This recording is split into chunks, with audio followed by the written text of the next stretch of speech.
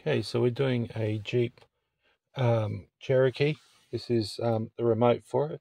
So lock, unlock. So this is a semi-smart where if you need to, you can actually pull this button out, put the key in there and then turn it and start it. But this is how it should work. You just leave the key there, put your foot on the brake and press the button like that. So if you need keys made to your Jeep, 0413 12